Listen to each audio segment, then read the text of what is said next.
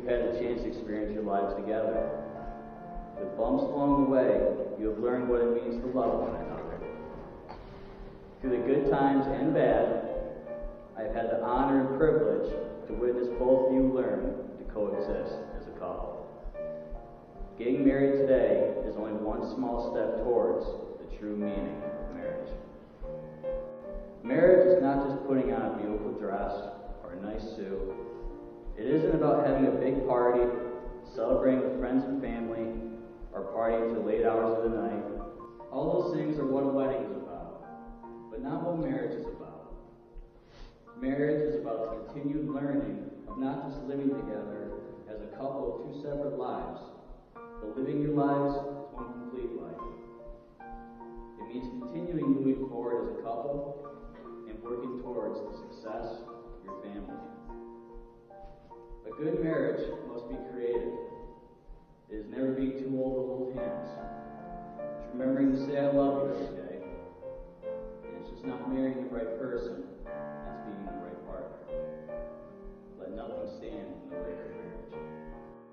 By the power and authority vested in me by American Marriage Ministries in the state of New York, I now pronounce you husband and wife.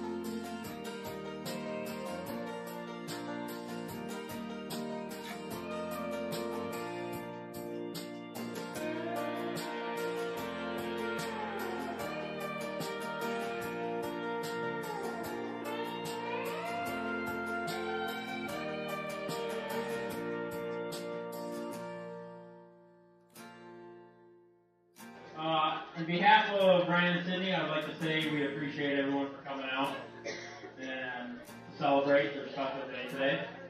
Uh, I hope everybody enjoys the food and the drinks and everybody has a great time tonight. First, I'd like to thank everyone for being here tonight to celebrate the happy couple. I know it means a lot to them to have you all here. And second, and most importantly of all, like to say you look absolutely stunning tonight. And Ryan, I'll give you a 6 out of 10. Ryan and I grew up together, but really never became best friends until about uh, a few months ago this year when he actually asked me to be his best man. And then I decided to take our relationship to the next level. So when Ryan came to the picture, I was a little protective of my friends.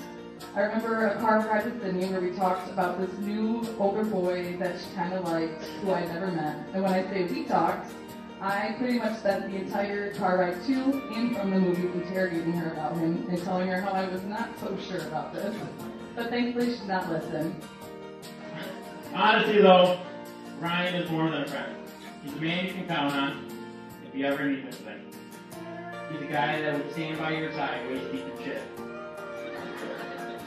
Probably be wearing waders and gloves he didn't get dirty, but he'd still be there. I used to think that there would be no man not only good enough for Sydnee, but also capable of handling the package deal that came with her, which was Brittany and myself. But then I finally met Ryan. Just from seeing the way Ryan looked at Sydnee, how happy he made her, how he was with her family, and how quickly he went from being just my friend's boyfriend to my close friend, I knew that Sydnee had found her soulmate and that one day we'd all be here celebrating their marriage.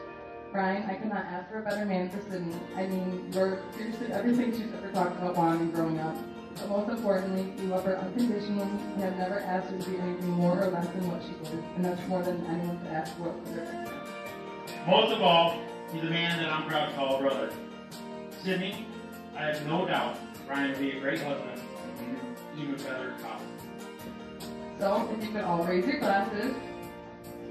I know I speak for everyone in this room when I say that we all wish you, say we all wish you a long, healthy, and happy life together. Let's toast to the new Mr. and Mrs. Hoteling finally.